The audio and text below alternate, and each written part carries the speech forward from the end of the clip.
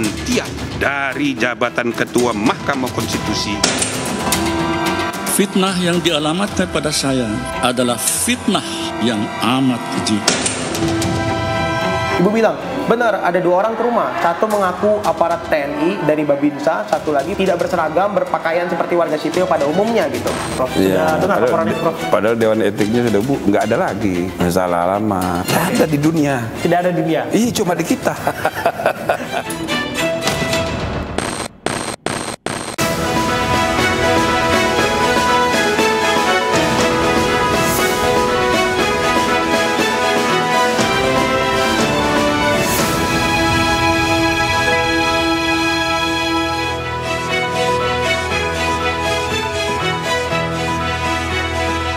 Sama malam, nomor urut pasangan calon presiden dan calon wakil presiden telah ditetapkan oleh Komisi Pemilihan Umum Republik Indonesia. Pertanda pertarungan politik menuju istana sudah dimulai. Meski demikian, putusan etik Majelis Kehormatan Mahkamah Konstitusi menyisakan drama dan intrik politik jelang kontestasi Pilpres 2024. Usai mencopot jabatan Anwar Usman, Ketua Majelis Kehormatan Mahkamah Konstitusi, Jimli Asidiki dilaporkan sejumlah pihak ke Dewan Etik MK. Di sisi lain, Ketua Badan Eksekutif Mahasiswa Universitas Indonesia, Melki Sedek Huang, mengaku diintimidasi oleh oknum aparat karena kritiknya terhadap putusan Mahkamah Konstitusi. Kita akan bahas selengkapnya dalam The Prime Show. Saya, Abraham Silaban.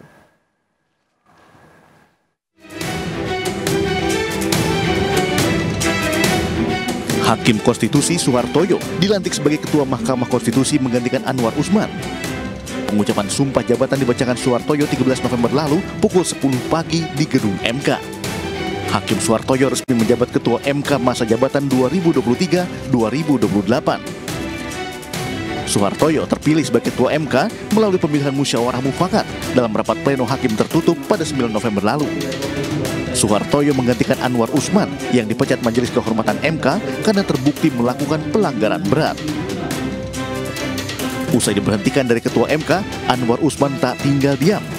Anwar Usman melancarkan serangan balik usai diberhentikan Majelis Kehormatan MK karena diduga terlibat konflik kepentingan dalam memutus perkara terkait batas usia minimal capres-cawapres. Anwar Usman juga menduga ada muatan politis dalam putusan Majelis Kehormatan MK. Sejak awal saya sudah mengatakan bahwa jabatan itu adalah milik Allah Subhanahu wa taala, Tuhan yang Maha Kuasa. Sehingga pemberhentian saya sebagai ketua Mahkamah Konstitusi tidak sedikit pun membebani diri saya. Anwar Usman terbukti melakukan pelanggaran berat dalam memutus perkara nomor 90 terkait batas usia capres-cawapres. Putusan Anwar Usman dalam batas usia capres-cawapres dinilai menguntungkan kemenakannya Gibran Raka Buming Raka untuk ikut meramaikan pemilu 2024 sebagai calon wakil presiden dari koalisi Indonesia Maju.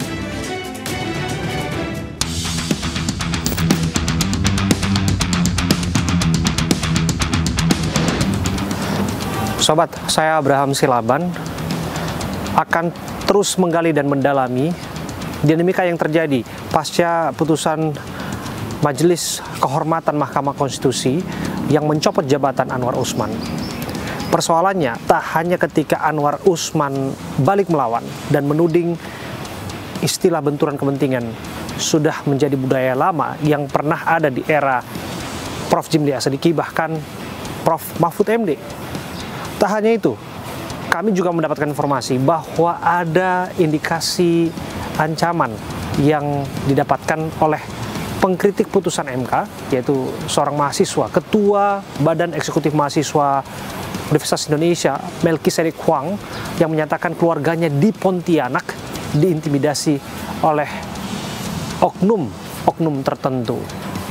Apa betul sesungguhnya? Masih ada dinamika panas yang terjadi pasca putusan di Mahkamah Konstitusi. Saya Abraham Silaban, ikuti saya.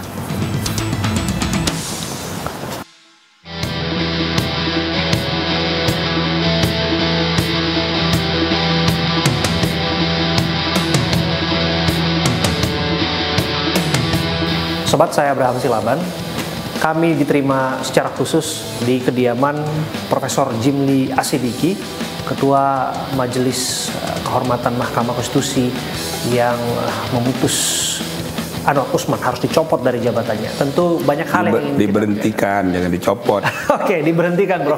Pada praktiknya sama saja, Bos. Iya, Di- di- Tapi kita harus tanyakan karena harus eh, menjabat 30 hari ya, Prof ya. praktiknya. ya, 30 hari. Jadi masih sah kalau saya sebut ketua majelis Ya, masih boleh. Kehormatan, ketua Masih MKMK. boleh. Masih boleh, Prof. Ya walaupun pekerjaannya udah selesai, tapi kan tugasnya memang 30 hari. Oke. Jadi SK-nya masih.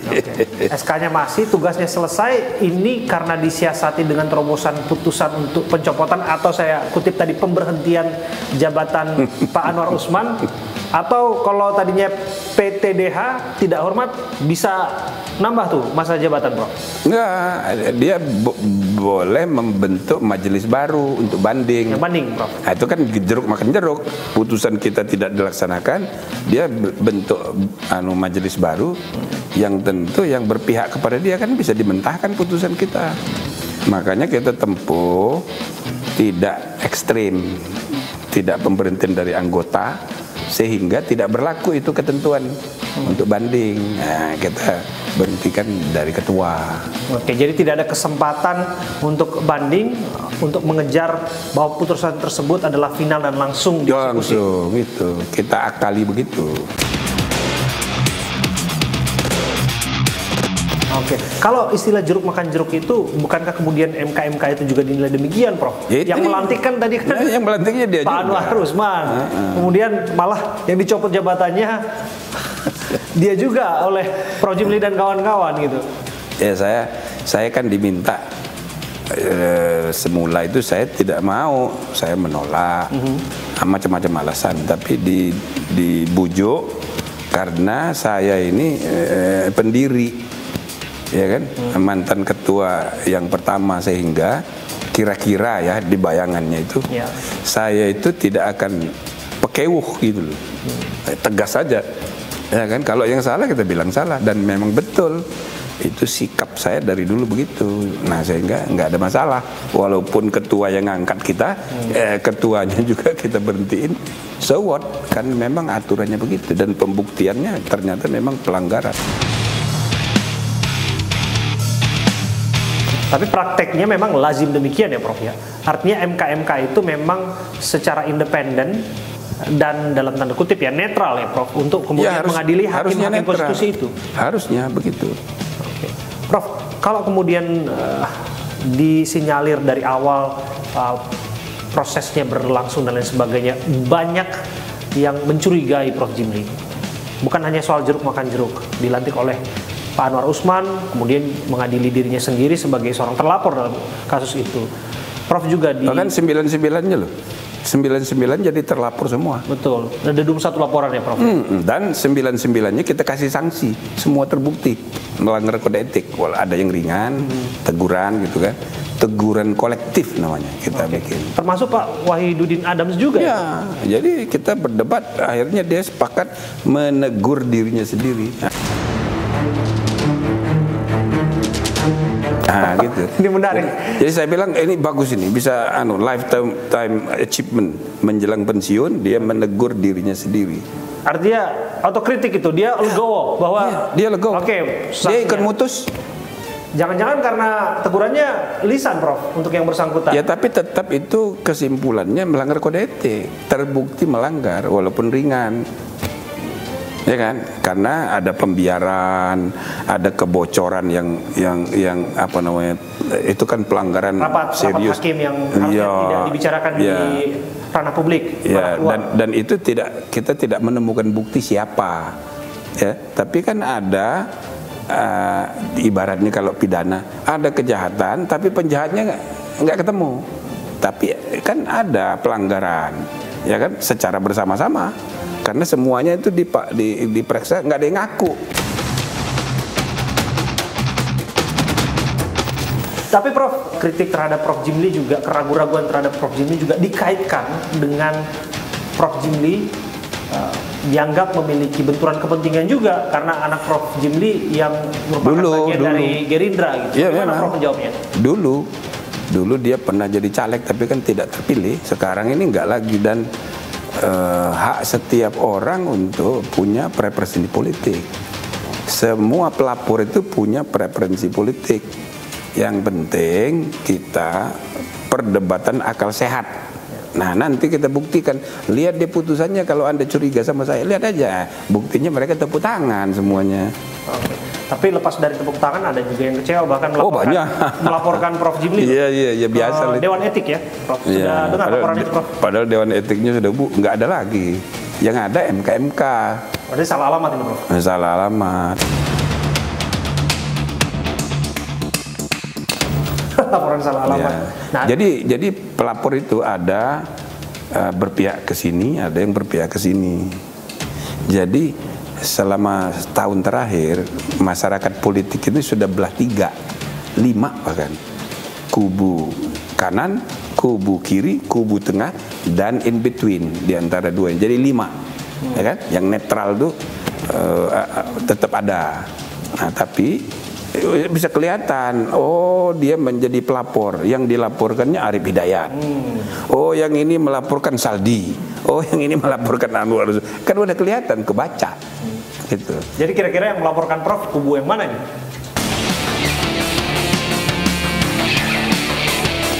Ya kira-kira yang eh, tidak puas dengan Anwar di dua, dua kemungkinan. Ada yang tidak puas karena terlalu ringan, ya kan? Maunya dipecat dari anggota. Itu satu kubu. Kubu yang lain melihat bahwa ini, waduh ini harus dibela ini. Sebab kalau eh, dipecat dengan ekstrim, dia berhak untuk bela diri di majelis banding. Nah jadi ada dua kira-kira yang membela Anwar Usman begitu. Ya, kebetulan yang mengajukan itu yang yang melaporkan Saldi Isra dan Arif. Ini kan udah kelihatan. Oke, jadi bisa dipetakan Gitu sendiri ya, loh, Prof iya. ya. Tapi Nah. lepas dari itu, pokok perkara pelaporan sendiri, Prof Nggak. sudah dengar yang disebutkan nggak. bahwa membocorkan Nggak perlu. Pak Anwar Usman dianggap Kan sudah putusan sebelum sudah. putusan dibacakan, Prof. Putusan sudah. Dan putusan itu ya tentu menimbulkan kontroversi nggak apa-apa. Yang penting ini menenangkan pelan-pelan, nggak langsung selesai. Yang penting kedua adalah putusan itu sudah di- ditaati baik oleh Anwar Usman maupun 8 hakim lainnya. Buktinya mereka sudah mengadakan pemilihan.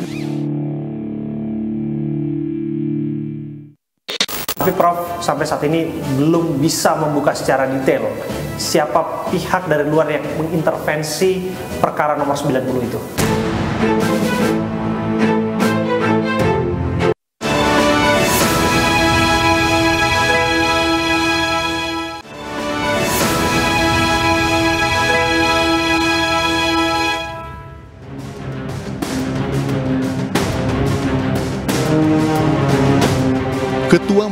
Kehormatan Mahkamah Konstitusi Jimli Asyidiki dilaporkan ke Dewan Etik MK terkait putusan MK-MK yang mencopot Anwar Usman dari jabatan Ketua MK. Sejumlah elemen masyarakat melayangkan laporannya, di antaranya advokat peduli Mahkamah Konstitusi, pengacara pembela pilar konstitusi, dan pendekar hukum konstitusi. Pelapor menilai Jimli mengabaikan asas praduga tak bersalah, bahkan menyatakan Anwar Usman bersalah sebelum putusan resmi dibacakan.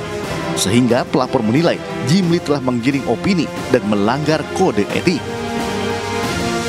Ini melaporkan Ketua Majelis Kehormatan Mahkamah Konstitusi, Ketua MKMK, Prof. Jimli Asidiki, yang kami laporkan ke Dewan Etik Hakim Konstitusi, yang mana kami melihat ada beberapa beberapa kejanggalan pada saat sebelum putusan, yang mana ada beberapa poin yang kami lihat eh, di dalam kesimpulan dan rekomendasi putusan pada angka 4 Majelis Kehormatan tidak menemukan cukup bukti untuk dapat menyatakan hakim terlapor memerintahkan adanya pelanggaran prosedur dalam proses pembatalan pencabutan permohonan perkara nomor 90 PUU Romawi 21 garing 2003.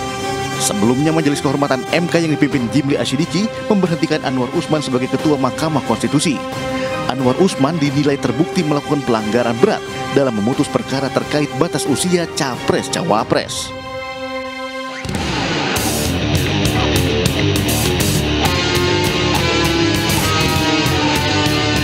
Ya bukti sudah cukup, tapi tidak perlu semua diungkap di dalam putusan resmi, karena ini kan bisa menimbulkan masalah lain lagi. Masalah apa yang dimaksud? Putusan eh, putusan pengadilan itu harus menjadi solusi, bukan menciptakan masalah.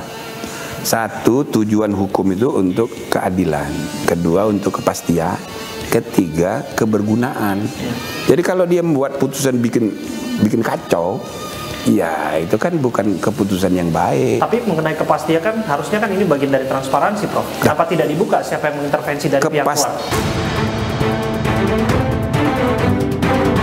Kepastiannya adalah kita memutuskan lebih cepat dari eh, semestinya karena diminta ada kaitan dengan eh, pendaftaran calon yang kalau misalnya putusan MK-MK ini kan diminta supaya meng- me- membatalkan putusan MK. Nah, saya persilahkan argumennya apa.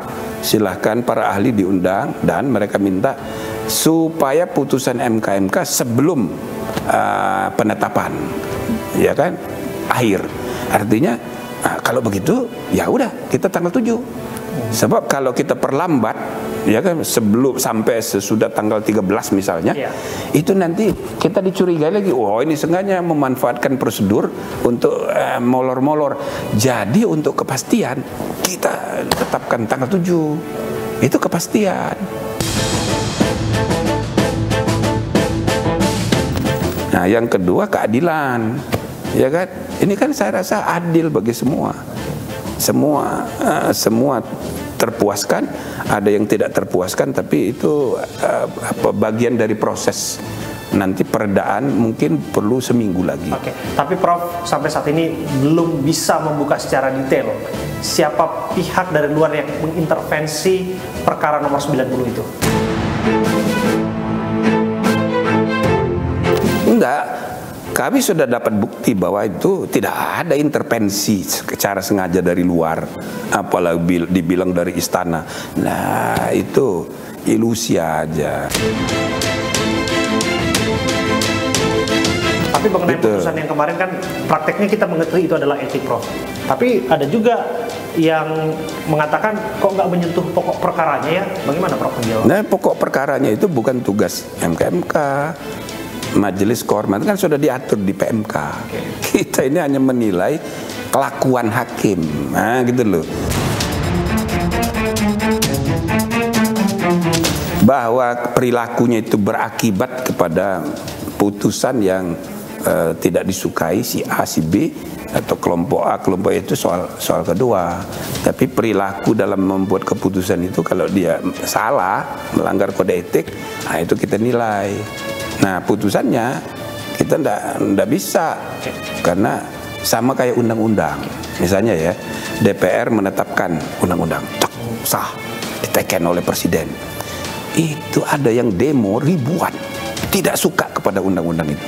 Tapi tetap aja berlaku bahkan kalau undang-undang itu ternyata terbukti di antara beberapa anggota MPR itu eh, anggota DPR itu itu melakukan tindak pidana terima suap. Ya. dia bisa masuk penjara tapi tidak berakibat kepada undang-undangnya.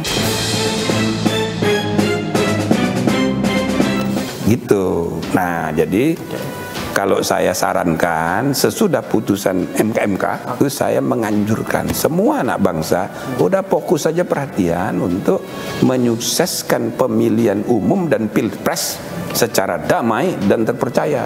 Kalau Anda tidak suka kepada paslon ini, jangan dipilih. Atau paslon yang Anda anggap wah ini curang ini, dia akan anu, mengakali undang-undang. Ya sudah, jangan dipilih dia. Tapi hak dia dan para pendukungnya itu jangan dihalangi, gitu loh. Biar kita biarkan rakyat saja yang menjadi hakim tertingginya. Ah begitu. Oke, karena pada akhirnya kita negara demokrasi. Prof. Oh iya.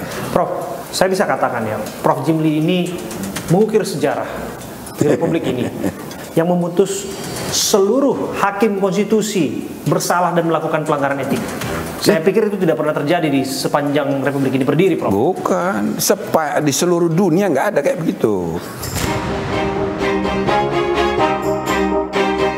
Di seluruh yang Sembilan hakim dilaporkan melanggar kode etik semuanya sembilan dan sembilannya terbukti ya, melanggar Salah. kode etik itu bukti nggak ada di dunia. tidak ada dunia Ih cuma di kita. dan hanya ada di Indonesia. Oke.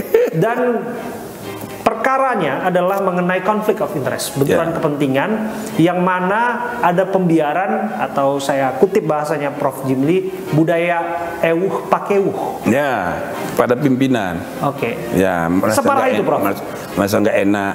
Eh, jadi kebiasaan. Makanya waktu Pak Anwar Usman bikin konferensi pers, Ya. kan kelihatan dia agak kecewa gitu Ya. ya. Saya bilang ini manusiawi nggak apa-apa, tapi argumen dia, loh ini kan sudah biasa. Hmm. Dulu waktu Pak Jimli, dulu waktu Pak Mahfud, dulu banyak seperti ini. Nah itu bukan soal dia ngeles cari alasan, tapi itu menunjukkan bahwa jadi sudah ada sudah ada kebiasaan dan itu dibenarkan. Yang kedua, dia itu tidak merasa orai soru mongso tidak bisa merasa bahwa ini melanggar kode etik. Padahal ini aturan universal. Ada di undang-undang, ada juga di kode etik hakim MK. Dan bahkan ada prinsip universalnya di seluruh dunia itu. Jadi kalau ada hubungan kepentingan, terutama keluarga, dia harus mundur. Sudah ada aturannya. Tidak merasa? Itu tanggung jawab moral ya. Jadi ada iya. Alasannya ini kan norma umum. Saya nggak tahu tuh urusan Gibran nggak ada kaitan. Loh, udah setahun balihonya di mana-mana. Sudah berbagai media memanukan bahwa Gibran jadi calon ini, calon itu gitu kan. Nah, masa nggak tahu? Belakangan ini ya Prof ya, termasuk gerakan dari aksi mahasiswa. Disebutkan ada ketua BEM UI, eh, Melki Sedek Huang namanya, yang mana orang tuanya merasa diintimidasi Prof oleh oknum-oknum aparat karena Melki sendiri, ketua BEM ini melakukan pergerakan kritik terhadap putusan nomor 90 itu mengenai batas minimum usaha capres-cawapres. Bagaimana Prof menilai persoalan ini? Uh, itu di luar soal MK itu, tapi Iya. kita Saya sebut tadi kan Prof tokoh intelektual. Iya ya kita harus me- mengingatkan aparat penegak hukum terutama polisi, kejaksaan harus kerja profesional. TNI juga begitu. Kalau memang bukan urusan tentara, ngapain ikut-ikut melibatkan diri, ya kan? Udah ini urusannya polisi aja. Ini kan urusan politik, ya, ini bukan perang. Dan polisi pun itu harus di- dijamin dia tidak tidak boleh tidak netral. Apalagi TNI Polri itu alat negara dalam Undang-Undang Dasar disebut begitu, bukan alat pemerintah, bukan alat partai, apalagi alat peng- pengusaha. Ah, nggak boleh itu. Terima kasih Prof Jimli Asidiki sudah menerima kami di sini dan melakukan wawancara dengan kami Prof. Kami Ya, terima kasih Abraham.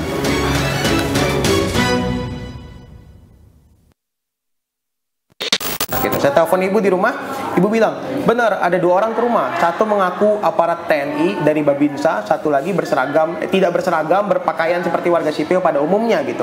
Menanyakan soal straightforward mas, ini rumah Melki gitu.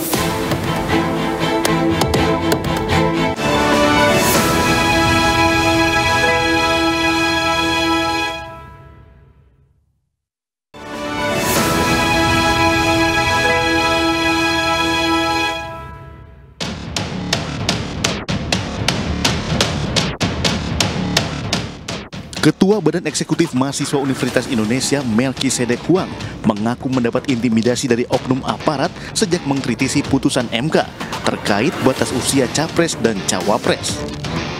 Bahkan tidak hanya dirinya sendiri, Melki mengaku keluarga dan gurunya di Pontianak juga mengalami hal yang sama. Melki mengaku ancaman telah diterimanya sejak menjadi ketua BEM UI pada 2023. Ancaman kian meningkat menjelang dan setelah aksi demonstrasi menolak putusan MK terkait putusan batas usia calon presiden dan calon wakil presiden RI pada 16 Oktober 2023.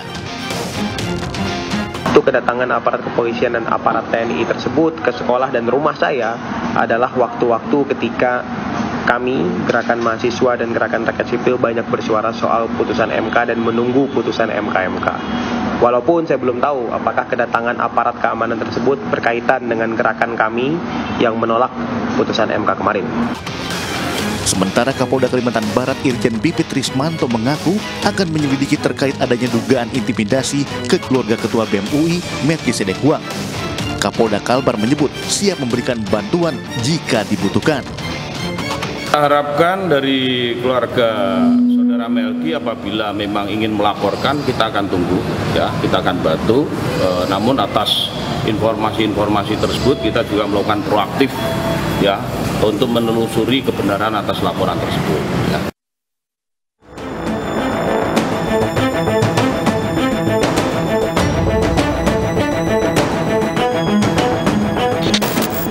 Sobat, ada dugaan intimidasi yang diterima oleh Melki Sedek Huang, Ketua Badan Eksekutif Mahasiswa Universitas Indonesia. Dan kami juga mendengarkan bahwa orang tuanya di Pontianak juga diduga mendapatkan intimidasi serupa. Didatangi oleh oknum-oknum tertentu, ditanyai mengenai aktivitas Melki. Nggak berhenti pada orang tuanya. Bahkan dugaan intimidasi juga didapatkan bahkan sampai tempat ia bersekolah dulu di SMA Negeri 1 Pontianak. Kira-kira apa motif dibalik ini semua? Hanya bisa terbongkar apabila ditemukan pelakunya. Dan dilandasi apa pergerakan-pergerakan yang berupaya untuk memberikan dugaan ancaman dan intimidasi kepada aktivis mahasiswa.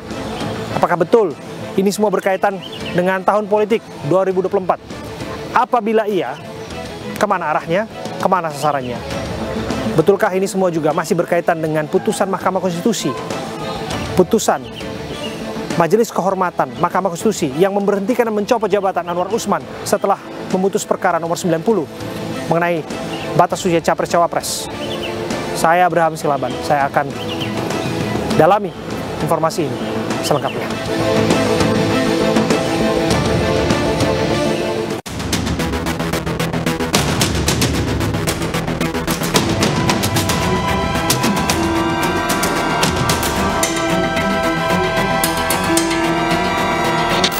Sobat saya duduk bersama dengan Melki Sedekwa, Ketua Badan Eksekutif Mahasiswa Universitas Indonesia. Saya akan dalami hal-hal apa saja yang dikaitkan dengan dugaan intimidasi yang didapatkan oleh dirinya termasuk keluarganya di Pontianak, Kalimantan Barat. Melki, terima kasih sudah menerima kami. Terima kasih banyak juga, Bang Abram. Melki, gimana kabarnya? Sehat? Sehat. Baik, Bang. Baik. Setelah marak pemberitaan dan lain sebagainya, ada rasa gentar? Nggak ada, Bang. Nggak ada rasa gentar? Nggak ada. Oke. Melki bisa kelihatan tersenyum nampaknya karena sudah ketemu langsung dengan orang tua. Benar. Dengan ibu ya? Benar. Di Pontianak ya? Betul. Berarti baru pulang dari Pontianak? Baru hari ini tadi pagi saya sampai Jakarta. Oke. Melki khusus pulang ke Pontianak untuk mengonfirmasi sebetulnya apa-apa saja dugaan intimidasi yang diterima oleh ibunda. Jadi telepon yang saya dapatkan dari sekolah dan dari rumah tentang pihak-pihak aparat keamanan yang datang ke rumah itu saya dapatkan 25 Oktober. Hmm. 25 Oktober saya tidak melihat uh, ada satupun uh, itikat baik dari kepolisian ataupun TNI yang kemudian datang lagi ke rumah untuk minta maaf ataupun menyampaikan maksudnya selama ini apa gitu. Sehingga kemarin pas ketika ada acara di UI saya ditanyai oleh rekan-rekan media, sebelum melaksanakan diskusi ini apakah sempat mengalami ancaman? Hmm. Saya sampaikan bahwa sebelum mengadakan kultum kebangsaan ini, saya ditelepon oleh aparat keamanan, diminta untuk dibubarkan, dibatalkan, di cancel acaranya, bahkan ada yang minta masukin aja ke ruangan atau online aja mas biar lebih sepi gitu. Nah ini kultum kebangsaan mengenai apa topiknya? Kultum kebangsaan tentang kami mengkritik putusan MK dan juga kaitannya dalam politik dinasti gitu. Oke. Sebelum kami mengadakan kultum kebangsaan, saya sudah tahu saya akan ditelepon gitu. Karena beberapa kali diskusi yang BEM UI selenggarakan pun pihak-pihak inilah yang sering kali menelpon gitu. Pihak-pihak yang mengaku aparat keamanan sering kali menelpon. Jadi saya tahu sebelum kultum kebangsaan saya pasti akan ditelepon juga gitu. Oke, pihak-pihak ini artinya sudah lebih dari sekali. Sudah lebih dari sekali. Siapa yang Anda maksud?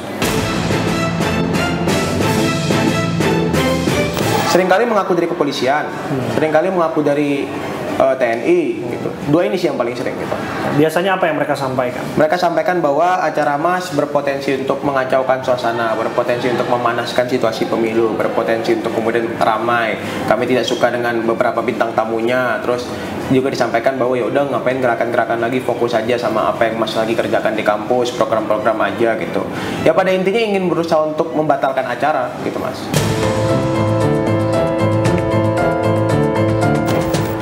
Waktu itu respon Anda seperti apa? Respon saya karena saya sering kali ya Mas ya di telepon. Saya bilang enggak Pak, males. Mau tetap lanjut ya. Hmm. Orangnya sama. Ada yang sama, ada yang beberapa kali nelpon ya maksudnya Oh. beberapa kali sudah pernah menelpon, ada yang baru juga Mas. Oke, dari mana Melki mengidentifikasi orangnya sama? Hmm. Dari mana membedakannya? Karena sering kali langsung ketika menelpon langsung menyebutkan saya ini dari ini gitu. Oke. Jadi saya langsung bisa. Oke. Oh ini kemarin kan nelpon juga nih sama gitu. Oke, suaranya sama. Suaranya sama.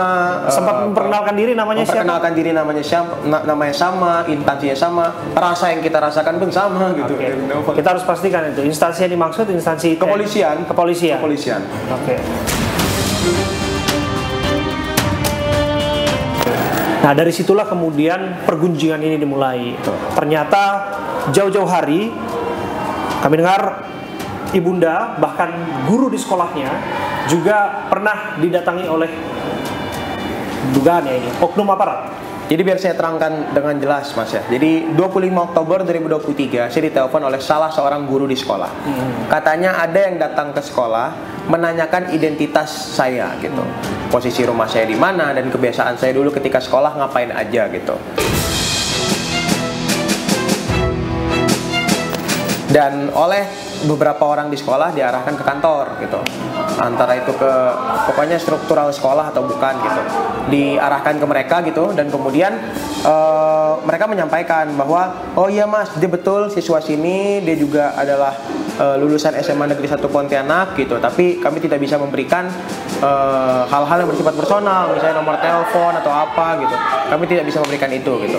Jadi Eh, banyak informasi yang tidak diberikan oleh sekolah tapi akhirnya saya tahu karena ada seorang guru yang menelpon ke sekolah gitu mas.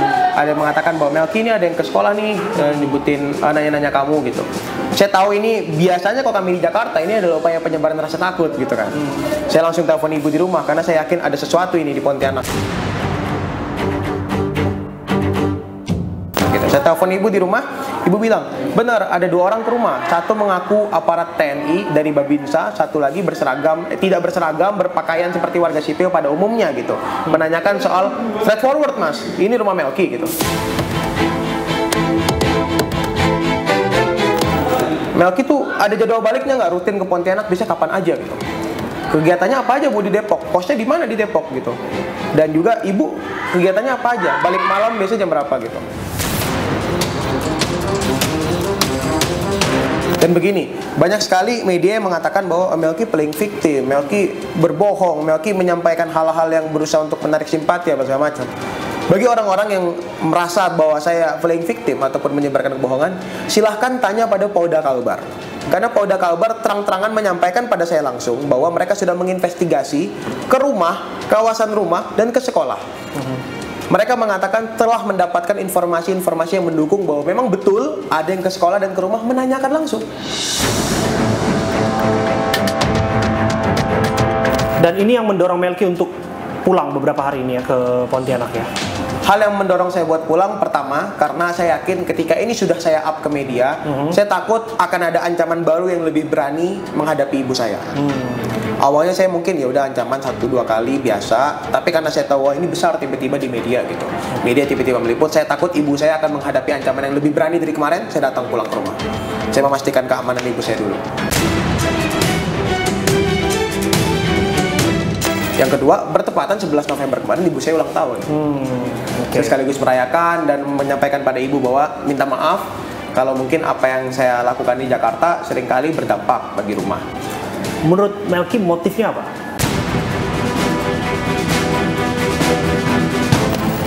Saya masih tidak tahu motifnya apa, Mas.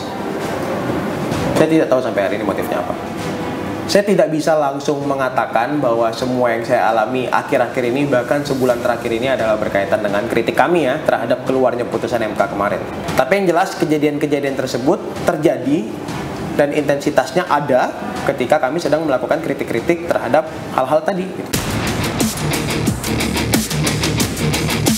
Melki sebutkan bukan hanya intimidasi berupa telepon atau kemudian juga sampai ke orang tua sekolah, bahkan juga serangan digital. Sejumlah serangan ini kan banyak ya ke Melki dan lain sebagainya. Dan sedikit banyak orang juga menilai bahwa ini nggak lepas dari tahun politik ini Melki. Dan apa yang Anda lakukan, termasuk apa yang Anda alami saat ini, menjadi perbincangan di elit-elit politik dan bahkan dianggap sebagai uh, produk politik yang bisa dikapitalisasi untuk menguntungkan capres tertentu ataupun untuk mendegradasi capres lainnya. Menurut Anda seperti apa? Saya selalu sampaikan pada semua yang bertanya bahwa jangan anggap gerakan mahasiswa hari ini adalah gerakan yang punya tujuan politik tertentu di pemilu 2024 untuk memenangkan salah seorang paslon. Bagi kami mas, ini bukan sekedar mendukung atau tidak mendukung Prabowo Gibran, Anies Caimin atau Ganjar Mahfud. Ini bukan sekedar mendukung atau tidak mendukung mereka. Ini bukan sekedar partai mana yang akan diuntungkan atau dirugikan dengan pendapat kami. Tapi kami punya nilai-nilai dan prinsip yang jelas. Kami menolak adanya politisasi peradilan. Itu adalah pelanggaran terhadap fair trial gitu. Kami menolak adanya politik dinasti. Itu ancaman besar bagi demokrasi. Orang-orang miskin di pelosok desa tidak punya mimpi jadi pemimpin karena politik dinasti gitu. Kami menolak adanya konstitusi yang diinjak-injak. Bagi kami, generasi Z gitu, ancaman ke depan itu semakin parah. Cuman konstitusi yang bisa jadi jaminan kami bahwa ekonomi Indonesia berbasis kesejahteraan bagaimana, hukum akan ditegakkan bagaimana, dasar bernegara kita, dasar hukum kita bagaimana. Cuman konstitusi bisa jadi jaminan. Kalau kemudian konstitusi itu diinjak-injak, kami tidak punya gerbang pengaman lagi, kami tidak punya safety net. Sebagai pegiat aksi yang berdiri mengkritisi Mahkamah Konstitusi dan sudah ada putusannya, maka saya harus tanya, bagaimana menurut Melki putusan dari Majelis Kehormatan Mahkamah Konstitusi yang mencopot jabatan Anwar Usman? Saya kira publik hanya berfokus pada bagaimana Anwar Usman tidak jadi ketua MK lagi tapi tetap menjadi hakim anggota gitu.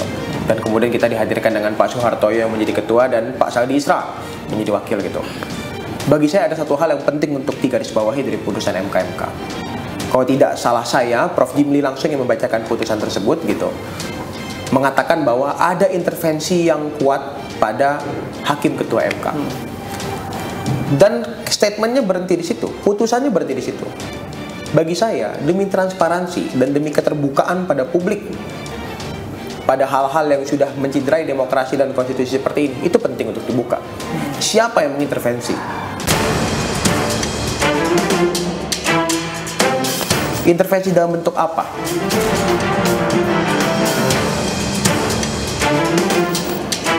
intervensi ini kemudian mempengaruhi dengan sedemikian parahnya kah sampai kemudian MK mengeluarkan putusan yang cacat formil gitu. Jadi kayak penting untuk dibuka. Intervensi itu dilakukan oleh siapa dan dalam bentuk apa.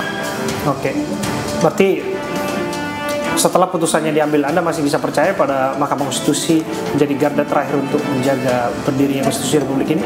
Begini Mas, saya selalu mendukung dan menyukai hal-hal yang legal gitu. Banyak orang bilang, apakah Melki benci dengan Presiden Jokowi? Sampai Melki dan BMUI selalu mengkritik Presiden Jokowi. Jawab saya tidak. Kami tidak pernah tidak menyukai hal-hal yang legal seperti Presiden. Presiden itu hal yang legal, harus kita dukung. Dan kritik kami adalah tanda sayang dan tanda kami mendukung hal-hal yang formil dan legal seperti itu gitu. MK adalah sesuatu entitas yang kita percaya entitas legal formal yang penting untuk menjaga konstitusi gitu. Dan itu diatur dengan jelas dalam konstitusi. Kalau tidak ada MK, belum ada lembaga lain yang bisa menjadi guardian of constitution, menjalankan peran itu. Saya sampai hari ini masih mendukung dan berusaha untuk mempercayai MK. Tapi bagaimana cara kami mempercayai ketika kami terus dikecewakan gitu. Apakah kemudian apa yang Anda alami selama ini akan membuat Anda gentar? Sampai hari ini saya belum merasa takut, belum merasa gentar dan malah merasa senang.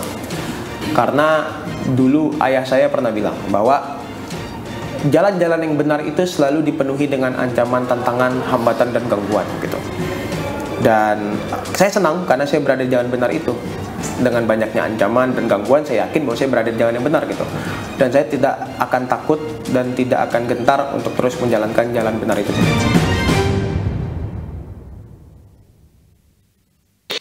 Oke, jadi Anda bisa memastikan bahwa tiga pasangan calon yang sudah ditetapkan oleh KPU ini akan berkontestasi di lapangan yang datar. Bagaimana Anda menjaminnya?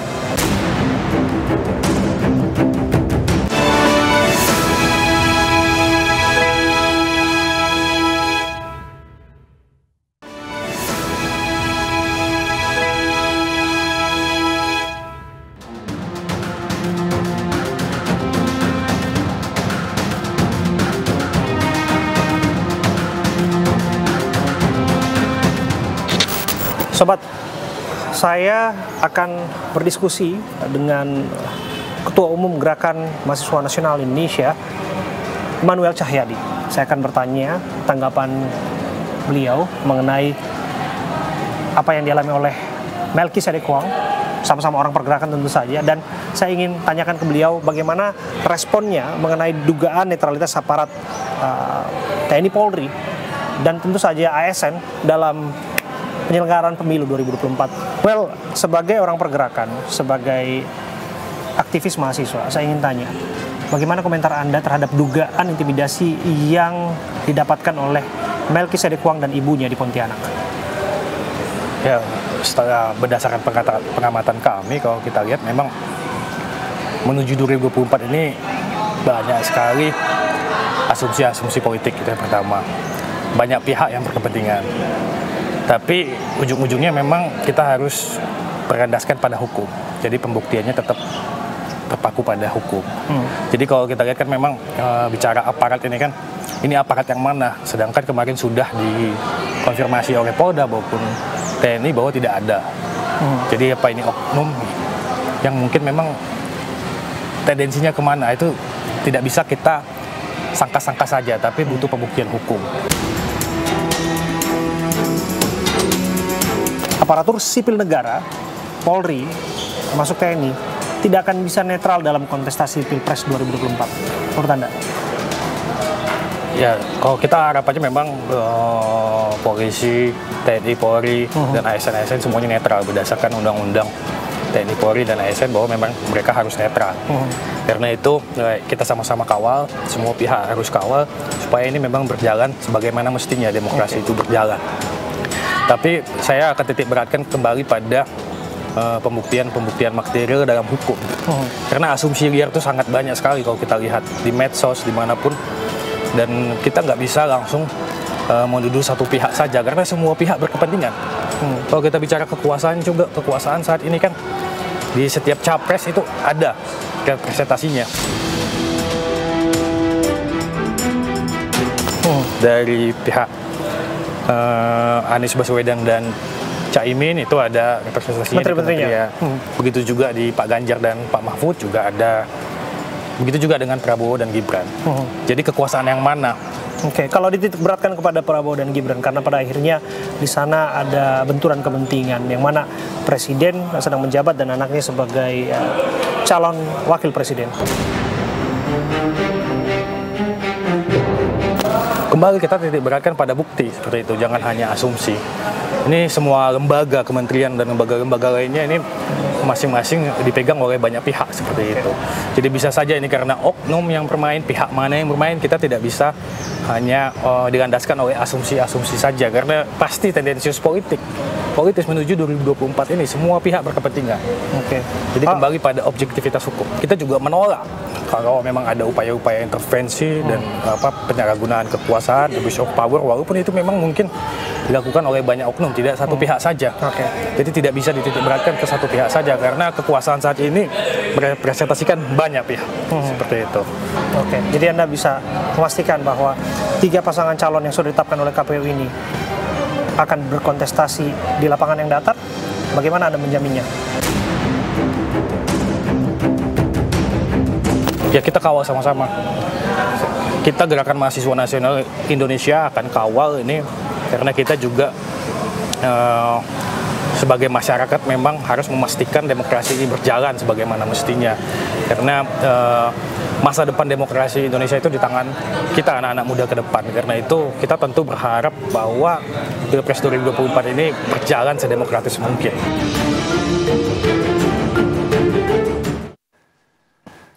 Ya, pemirsa, lepas dari drama dan intrik yang terjadi di Mahkamah Konstitusi jelang pesta lima tahunan demokrasi kita, kita percaya bahwa seyogyanya kita merupakan bagian yang akan ikut serta di dalamnya dan mengawal bersama bahwa pemilu, baik itu legislatif maupun pemilu presiden, akan berjalan secara jujur dan adil.